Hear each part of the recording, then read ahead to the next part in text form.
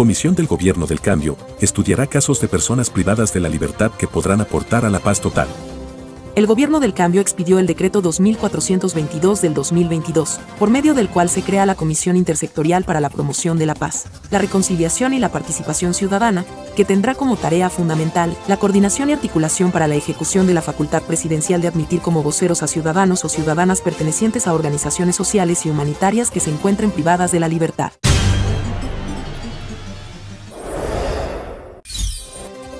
Según el decreto, firmado por el presidente Gustavo Petro, la comisión estará integrada por el ministro del Interior, Alfonso Prada, el ministro de Justicia, Néstor Iván Osuna, el ministro de Defensa, Iván Velázquez, y el director del Departamento Administrativo de la Presidencia, DAPRE, Mauricio Liscano. Esta comisión, que será presidida por el ministro de Justicia, tendrá entre sus funciones la de recomendar la admisión o exclusión de ciudadanos o ciudadanas pertenecientes a organizaciones sociales y humanitarias que se encuentren privadas de la libertad como voceros.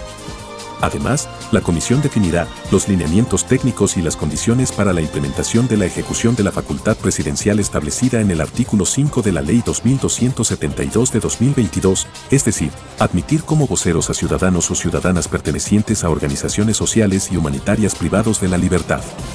En el mismo sentido, el decreto 2422 determina que la Secretaría Técnica de la Comisión estará a cargo de la Oficina del Alto Comisionado para la Paz, y señala que entre sus tareas está la de convocar a las sesiones de manera ordinaria, por lo menos una vez cada trimestre.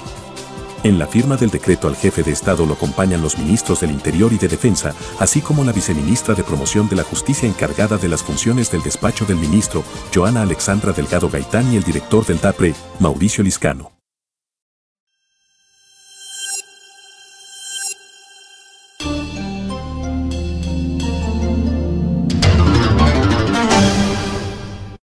Si te gustó escuchar este artículo, suscríbete a nuestro canal, 90 Segundos Noticias. Recuerda, activar la campanita, darle compartir y dejarnos tu comentario. Gracias.